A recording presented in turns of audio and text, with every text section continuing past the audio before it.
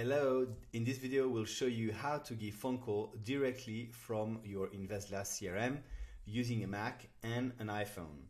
For that you need to first go on FaceTime. So hello everyone, um, I'm going to blur some information um, so you'll see anyhow how this works. Click here on preferences so here you have to make sure that your phone number is appearing. If it's not the case, perhaps you blocked it. Um, so just go into your iPhone, type in FaceTime and make sure that it's authorized. When this is done, you will see here your phone number. So make sure that you select your phone number and also you can um, set the default uh, system with your phone number. I think it's better to use the phone number than to use your email. And you have to make sure that those um, emails are allowed. So you should have more or less the same type of configuration on your system.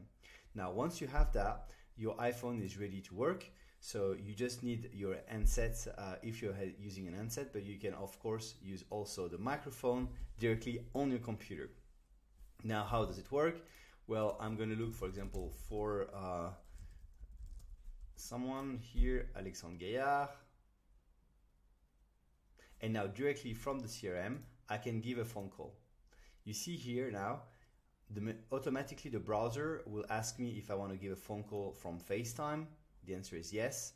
Now I have this little um, notification. I can click on call and this will trigger the call directly on more on uh, my iPhone. So this is how it works.